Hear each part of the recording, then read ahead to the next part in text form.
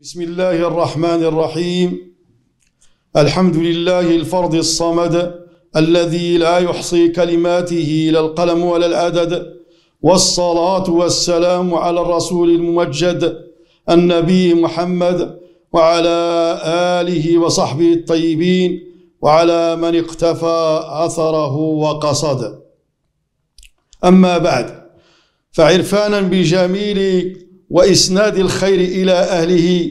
هذا أول لقاء تواصلي مع المشاهدين والمشاهدات في محطة إعلامية كانت قد استضافتني بالبلدية فأشكرها جزيل الشكر ولها مني كل التقدير والاحترام والامتنان. ثم أما بعد فلقد طلب مني أن أعطي نبذة مختصرة عن حياتي وكان من الأليق أن يعطيها غيري ولكنهم قد اختاروني فأقول أنا العبد الفقير إلى عفو ربه. الشيخ عبد اللطيف بوعلام العلاهمي الصفروي ازددت بمدينة صفرو ولمن لا يعرفها فهي قريبة من العاصمة العلمية ببعض كيلومترات تصل إلى 30 كيلومترا على أبعد تقدير. ثم درست الابتدائي بمدرسة حبونة. ثم بعد ذلك الإعدادي بمولاي علي الشريف إعدادية مولاي علي الشريف. ثم بعد ذلك الثانوي بثانوية بئرانزران ثم حصلت على البكالوريوس سنة 1982 ثم بعدها على دبلوم مركز المعلمين بفاس ثم حصلت على إجازة مشيخية في علم التجويد من الشيخ المعروف الصيت عالميا وهو الشيخ محمد الإبراهيمي البذنبي رحمه الله. ثم لدي تكوين عصامي بحيث قد تمكنت من تأليف مجموعة من الكتب لا يستهان بها ولا تخلو من الفائدة وحسن التوجيه وتربو نحو الأربعين ونيف. ثم لدي مشاركات عديدة. عملت مدرسا لمادة الجويد في العديد من المراكز القرآنية ولدي عدة أنشطة على على عدة مستويات. قلت لقد عملت مدرسا لمادة التجويد بالعديد من المراكز القرآنية. ناهيكم عن مساهمتي بعدة محاضرات في جميع أنحاء المغرب. أما بعد كذلك فالبرامج البرامج التي سأتطرق إليها ستكون إن شاء الله تعالى برامج توعوية دينية محضة. ثم بعد ذلك لغوية ثم بعد ذلك بيانية ثم بعد ذلك سأدخل في المستجدات الحياتية كل ما طرأ عليها. هذا ما سيكون برنامجنا. والبرنامج الديني كما اقترح الإخوة سيكون يوم الخميس إن شاء الله وسيكون ممزوجا بنوع من الدارجة المحتملة لأنني حسب ما طلعت على أن أغلبهم إذا تحدث باللغة العربية فقليل من يضبطها وسيضيع هارمرا من الجمهور لا يفقهها وهكذا. وسنسير ببطء ببطء ونبدأ بأبسط الأشياء لكي يصل الناس إلى الفهم الديني لضبط المسار وتقويم المسير. لأنني لما اطلعت على وسائل التواصل الاجتماعي وجدتها مليئة بالتفاهة والرداءة وقلة الكفاءة وإثارة النعرات والمشاحنات تحقيقا للربح المادي ليس إلا ولا فقط. وأغلبهم لا يفقهون في اللغة العربية من قطمير ولا يدرون كوعها ولا بوعها.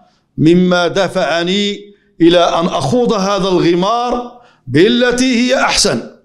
في البداية ومن اعتلى علينا بالتي هي أحسن كذلك لأننا نحن مطالب منا أن ندعو بالتي هي أحسن. ادعو إلى سبيل ربك بالحكمة والموعظة الحسنة وجادلهم بالتي هي أحسن.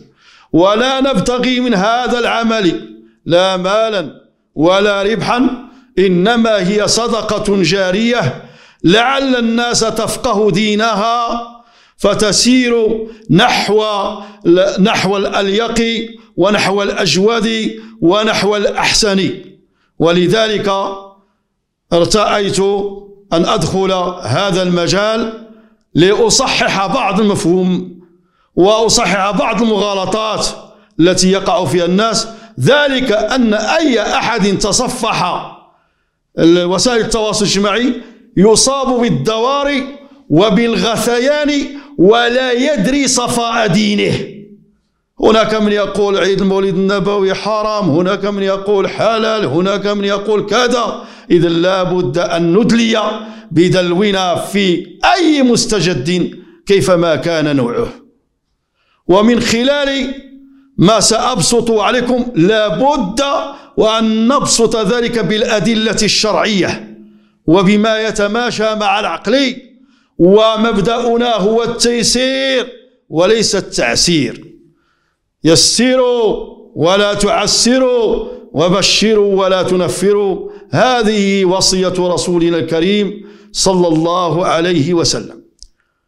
فإن كنت قد أخطأت فليس على يدي إلا لا يحسب علي الخطأ لأنني عبد ضعيف. إنما أردت أن أشعل شمعة في هذه الظلمات. فبدل أن نلعن الظلام ونقول بأنه الناس كملت الناس خلاص الناس هلكت فمن قال قد هلك الناس فهو أهلكهم. كما قال النبي صلى الله عليه وسلم والله لا الفقر أخشى عليكم ولكن أخشى أن تبسط عليكم الدنيا فتنافسوا فيها فتهلككم كما أهلكتهم. إذن هناك حملة مسعورة محمومة لربح الدنيوي ونحن لا نبتغي إلا الأجر. والله تعالى. وإن شاء الله ترقبونا في القريب العاجل لتكتشفونا وتعرفوا حمولتنا وتناقشونا لأن بالنقاش بالنقاش المتواصل والجدال البناء ليس الجدال العقيم. الجدال التكفيري الجدال العدمي بالجدال الرزين وبالجدال الرصين المبني على الدليل والحجة والبرهان. هذا هو ديدني إن شاء الله الذي سأسلكه في كل محاورات وكلما جد جديد أو استجد مستجد مما يفعله بعض الإخوة لإثارة بعض المشاكل. لماذا؟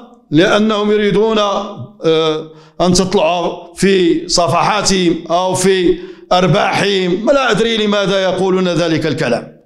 نحن نحاول أن نجادلهم بالتي هي أحسن وليس بالتي هي أخبث.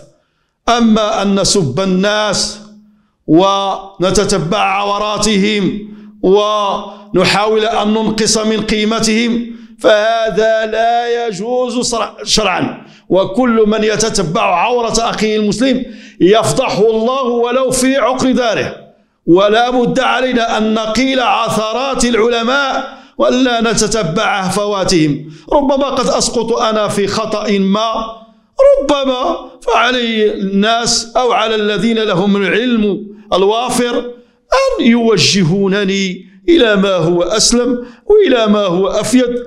لأن نحن في النصيحة والدين النصيحة. لا بد أن تنصحني دون دون فضيحة ودون أن تلبس علي بعض الأمور التي لا يقبلها الشرع. ولذلك هذا هو أسلوبي الذي سأسلكه إن شاء الله في هذا المجال. واسمحوا لي على هذه الدردشة. إن كانت لا تفي بالمقصود والمرغوب. والسلام عليكم ورحمة الله تعالى وبركاته.